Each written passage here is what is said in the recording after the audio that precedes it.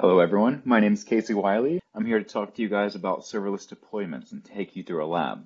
The purpose of this lab is to show you guys how they do a blue-green and a canary deployment in serverless.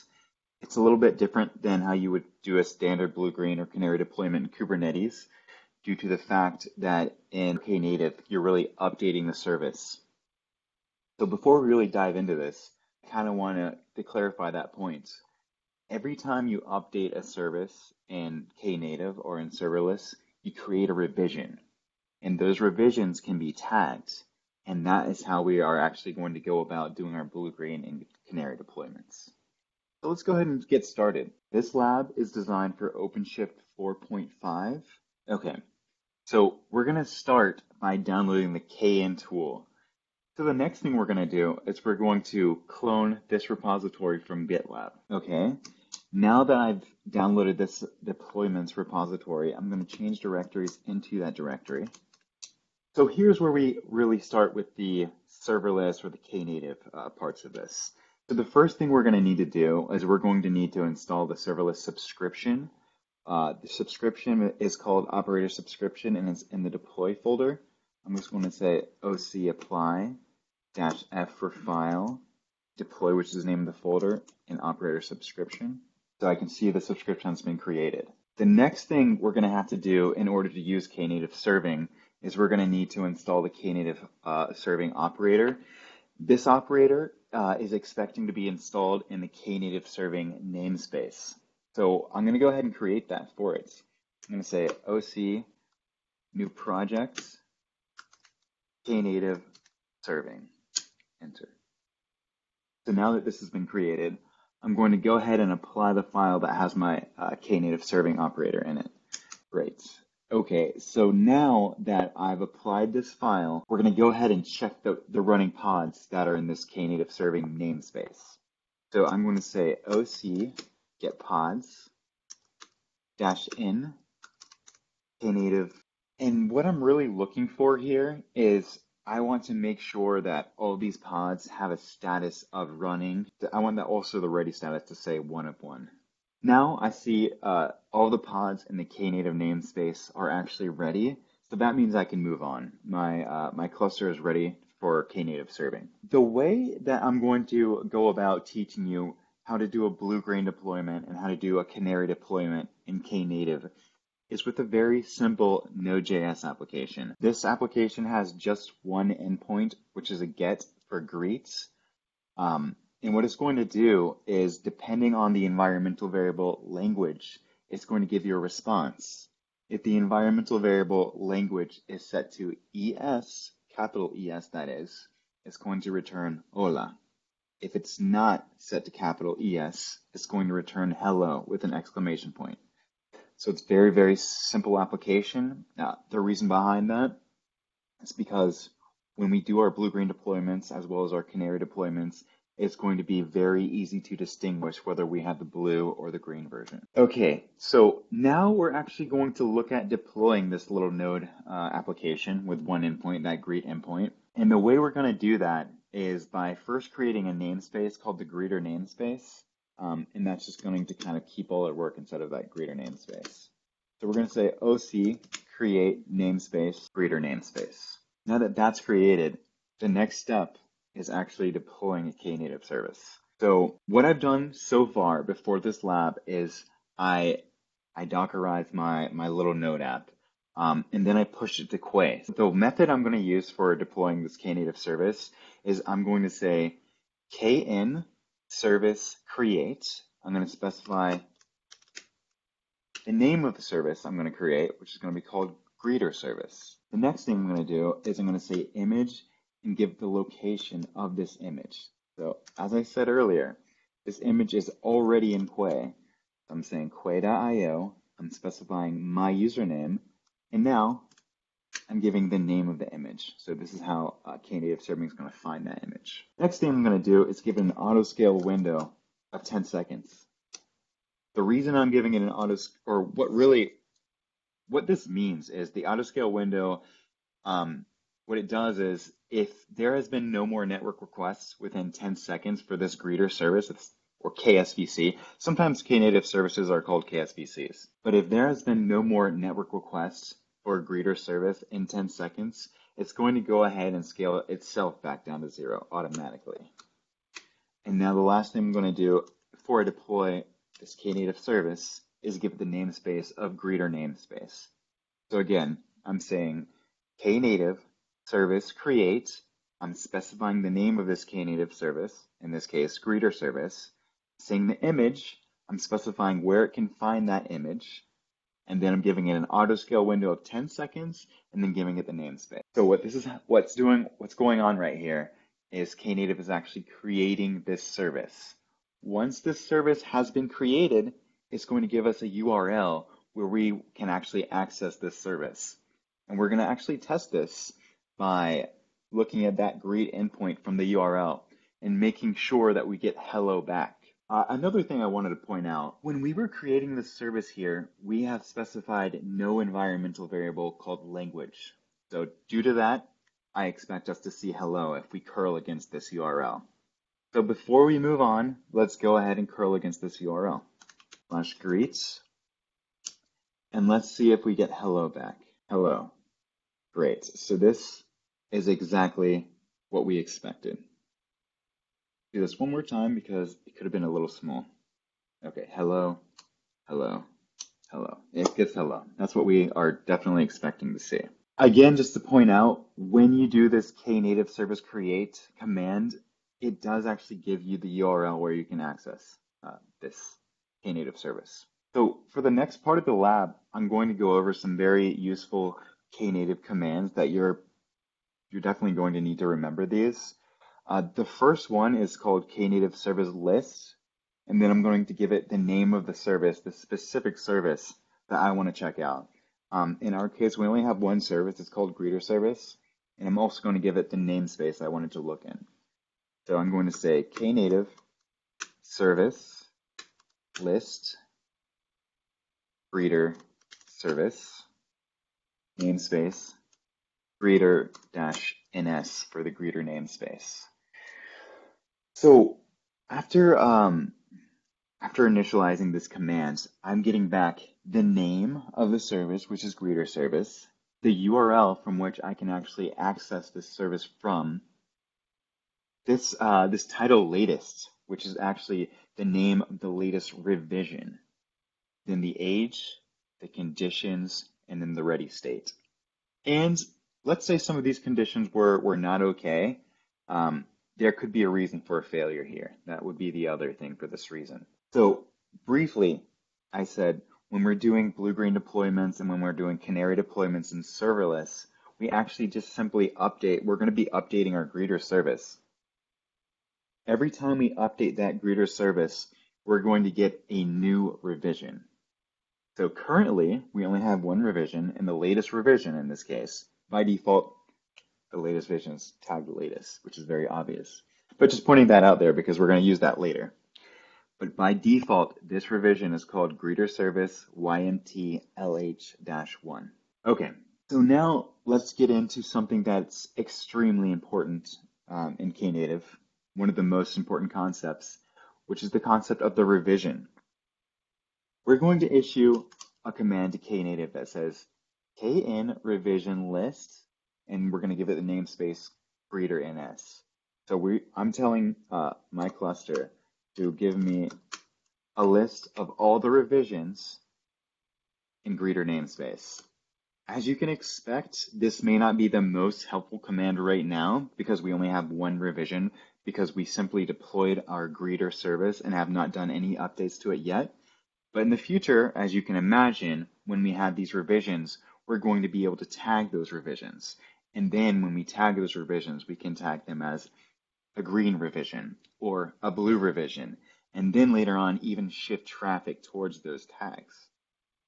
So for now, all we're really worried about is just getting a list when we say knative revision list, giving it the namespace greeter namespace. So what do I have here? I have the name of the latest revision, which we just saw. I have the name of my service. I have the traffic split. In this case, 100% of the traffic is going to this revision. I have tags, which I haven't tagged it at all yet, but we can assume it's probably the latest tag. And then generation, which kind of uh, has to do with the uh, with the revision I'm on. So the generation is one by default. If we if I uh, if I update this service, it will be generation two. Okay, and we already we already know conditions has to do with health. Its ready state's true, but there could be a reason if the ready state was not true. Okay, so the next command we're going to issue is we're going to say kn service describe. We're going to describe the greeter service and the namespace greeter namespace. This is going to give us a, a little bit more of a robust view of what's going on with our greeter service. A little different view as well. We see the name, greeter service. We see the namespace and the greeter NS. We see the URL where this uh, service can be accessed. Now we see the revisions, right? We see 100% of the traffic flow is going to this. And now we see a tag, right? I said by default, latest is the uh, is what your latest revision is tagged as. So this has the tag of latest. It has the name of the revision. It even has the location of the image, which is very nice. Then it has more information about these uh, conditions down here. Great.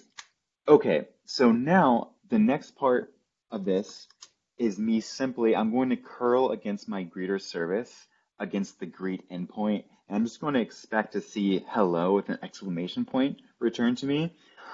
And I'm going to actually copy this command. I'm doing this interactively uh, with you guys right now, but when I wrote this lab, I wanted to make it extremely simple for you. So I'm going to kind of break down this command and what's happening. I'm saying curl against knative service list greeter service in the namespace greeter namespace. Then I'm going to use the awk command. I'm looking for the second row in the second column. So let's go ahead and look at what this awk command is actually returning for us. knative service list greeter service namespace greeter namespace. And I'm looking for the second row, so greeter, and then the second column. So all this awk command is really doing is returning this link right here.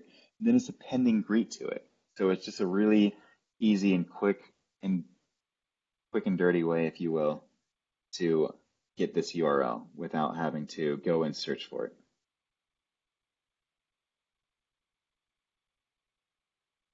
Okay, and I want to see hello back. If I see hello back, that's exactly what we expected. And look, there it is. Hello, and I apologize for the size of the font here. But simply copy and paste that and that'll work for you. All right, so the next part of this uh, lab we're going to look at is we're going to do a blue-green deployment. Remember, we're going to actually update our greeter service in order to do this. The first thing we're going to do is we're just going to list the, the services, or actually, I'm sorry, that's not true we're going to look at the greeter service because we're going to say knative service list, and then we're going to specify the actual name of the service that we want to see. Just as a refresher, we see what we have here, right? This is our, our, our, our service that we have, the URL where it's accessible, the name of it, and then the name of the latest tag. The next thing that we do here is we're going to create a green deployment. So typically when you do a new deployment in Kubernetes, you're actually going to release a deployment beside. You're going to create a new deployment. In Knative, that's not necessary because we can say Knative service updates. We're going to give the name of the service we're updating, which is the greeter service. We're specifying the namespace, greeter namespace. But this time, what we're doing is we're going to specify an environmental variable, language. We're setting this environmental variable to ES. The next thing we're going to do is we're going to give it a tag. We're going to tag this. So, and this can get uh, a little confusing, so I'm going to explain this. We're going to tag the very first version as blue, right, which currently is latest, and we're going to tag this next version as green and then we're going to shift 100% of the traffic to the blue version and 0% of the traffic to the green version. So I got a little tongue tied there, I want to explain that one more time. We are going to tag the very first version as blue and the latest version is green. So by default, when we update this greeter service, it's going to have a tag of latest. And we're going to go ahead and call that latest version green, right? And we're going to shift 100% of the traffic to blue and 0% of the traffic to green. And why would we do this? Why do we even like bother ourselves and, and create a new uh, or update this service? Well, let's say that we have a new feature that we're not fully ready to let our users see. So we don't really want our users to, to see this version yet. We just want the people that have the correct URL for it to be able to see it. Another thing, what's going on here is we're getting the actual name of the first uh, of the greeter services tag right now, of the greeter services revision tag. So when I say knative service list greeter service in the namespace greeter namespace, remember what it's going to give me, it's going to give me a column header that says latest. And we're going to actually pick out from that column header latest the name there, and that's actually the name of that revision. So currently the name of this revision, let's just look at it. Let's execute this. What this command does is it gives you the name of the current revision, okay? And we're gonna tag that revision as blue. So the original revision will be tagged as blue. As we've updated our service, we're going to get a, a new URL. We're going to use the knative revision list in the namespace greeter namespace. And we're and we should see two this time. Okay, so this is where things get a little bit interesting, I'd say. We now have two revisions. We have one service, but we have two revisions. They have a tag, right? This tag, uh, the original, which we just kind of awked out over here, we discussed is blue. This latest is called green, but it has 0% of the traffic uh, that's going through there. So here's something that's really cool, in my opinion, about Knative. So we are going to be able to access this green version uh, by actually prefixing the version name with a dash. So if we say green dash greeter we're going to actually get to see that. So when I initially wrote this, you're going to see like this CRC. I, I was using code ready containers. Um, this time I'm actually in the cluster right now. Um, Again, we can say the tag dash and then the name of the service, right? And that's how we're going to be able to actually uh, access this. So what we're going to do right now is we are going to curl against the green version. Um, and what we should expect is uh, we should expect to see hola return to us, curling against the new version with the environmental variable language as ES. And we receive an hola. So I just want to show you this one more time, right? I'm going to say knative, and I'm going to do it without awk. knative service list, and get the greeter service, and the namespace greeter namespace. So I'm copying this URL, right? I'm going to say curl http green. I'm using the green tag because that's what I want to access because I cannot access this by default because it's receiving 0% of the traffic. So uh, tag name of the revision dash the rest of the URL, and now I'm going to say greets, and I should see hola back. So that is how you can access this uh, new green version of our updated Knative service. Okay, so great. We just did a blue-green deployment. Um, pretty obvious how uh, that works, I guess, with uh, with Knative because you're simply updating the same service. And then again, once you update that service, each time you update a service, you're going to get a new revision. And then once you actually tag that revision, giving it a kind of a tag name, you're able to access the specific revisions by the URL prefixed by the tag name and dash, right? That's how we did that right here. We wanted the green version and then dash. So that's great. We have just did our blue-green deployment, but we all know on a real customer site, we don't, just because everything seems to be working, it's still kind of a risk to go ahead and put 100% of your traffic on a version. We kind of want to roll out our, our new uh, version a little slower. So we're actually going to do that by creating a canary deployment. What we want to do right now is we're going to do another update to our greeter service, right? We're going to say knative service update, the name of our knative service or KSV as you'll see sometimes in the namespace. And now what I'm going to do is before we had the traffic 100% uh, going to the blue version and 0% going to the green version.